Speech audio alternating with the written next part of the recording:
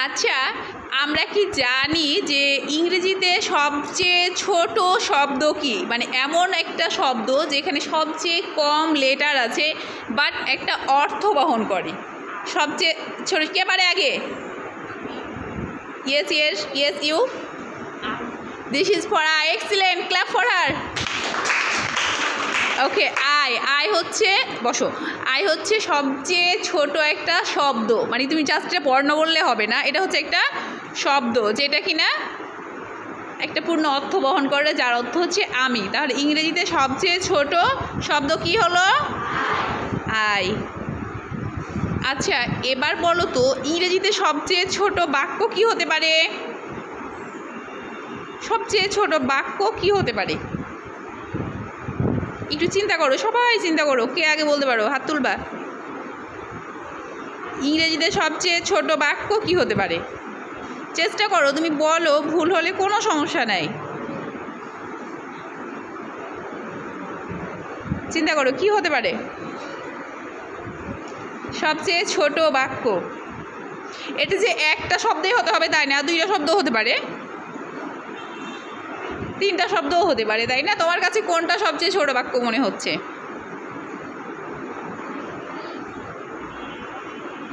বাক্যটা কিন্তু সম্পূর্ণ একটা বাক্য হতে হবে যেটা তোমার টোটাল একটা মনের ভাব প্রকাশ করবে বলো। কে বলবে? আচ্ছা তাহলে এবার বলো আয়ের সঙ্গে দুই অক্ষরের ছোট ভার্বগুলো ইউজ করলে তো একটা হয়ে যায়?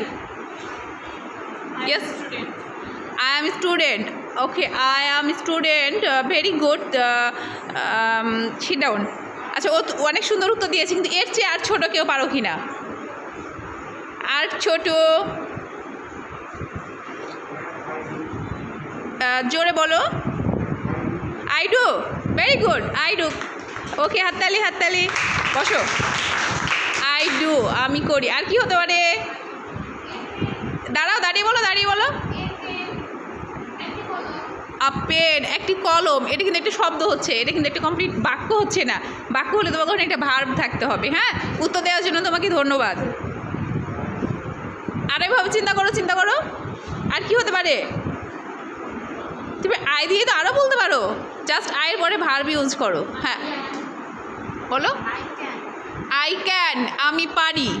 আচ্ছা গুড আই ক্যান আমি পারি। ওকে এক্সিলেন্ট আর তার বার কি হতে পারে? আই। কি হতে পারে? হ্যাঁ বলো। কি হতে পারে? ভুল হলে কোনো সমস্যা নেই। বলো বলো। আই, গো হতে পারে না। আমি যাই। আর কি হতে পারে, বলো। I, was. আমি আই আই ওয়ান্ট। আমি চাই। হ্যাঁ ভেরি গুড। আর কি হতে পারে?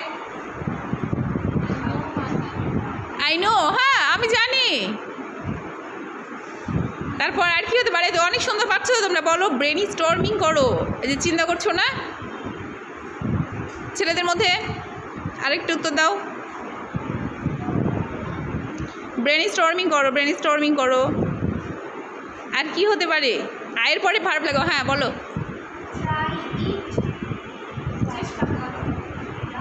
হ্যাঁ ট্রাই ইট এটা চেষ্টা করো ভেরি গুড আর কি হতে পারে? সেন্টেন্স তোমরা চিন্তা করো আর বলো। যেগুলো হবে ইংরেজিতে সবচেয়ে ছোটো ছোটো বাক্য। আর কেউ বলবা? আচ্ছা ঠিক আছে, তাহলে আজকে আমরা এই পর্যন্ত। আল্লাহ হাফেজ।